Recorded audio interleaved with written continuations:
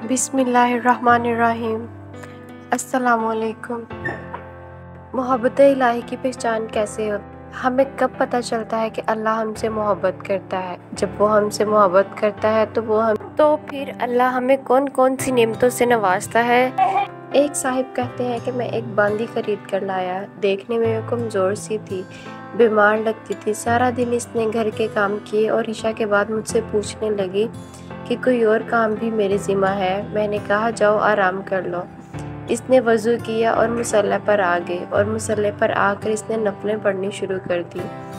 कहने लगे, मैं सो गया तहजद के वक़्त जब मेरी आँख खोली तो मैंने देखा वो इस वक्त अल्लाह ताला से दुआ मांग रही थी मनाजात कर रही थी और मनाजात में ये कह रही थी कि, ए अल्लाह, आपको मुझसे मोहब्बत रखने की कसम। आप मेरी ये बात पूरी फरमा दीजिए। कहते हैं कि जब मैंने ये सुना कि, ए अल्लाह, आपको मुझसे मोहब्बत रखने की कसम तो मैंने इसको टोका और कहा, ए लड़की ये ना कह कि ए अल्लाह आपको मुझसे मोहब्बत रखने की कसम, बल्कि यूँ कह के ए अल्लाह मुझे आपसे मोहब्बत रखने की कसम।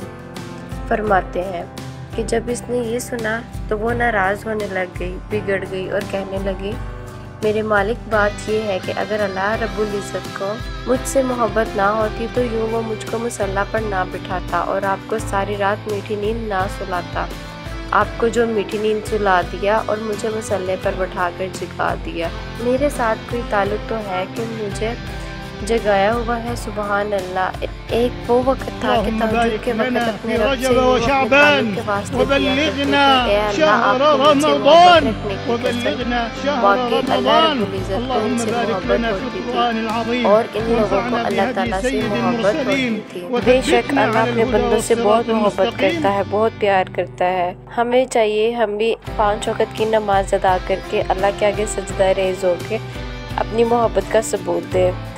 इलाही हम सबको पाँच वक़्त का नमाजी बनाए वक़्त का पाबंद बनाए और जैसा वो चाहता है हमें वैसा बनाए। जब अल्लाह को हमसे मोहब्बत हो जाए तो वो हमें सजदे की नेमत से नवाजता है। और जब अल्लाह हमसे नाराज़ हो जाए, जब वो हमसे नाराज़ हो जाए तो वो हमसे सजदे की नेमत ले लेता है। उम्मीद करती हूँ आपको मेरी ये वीडियो पसंद आई होगी। प्लीज़ चैनल को सब्सक्राइब करें, मुझे सपोर्ट करें।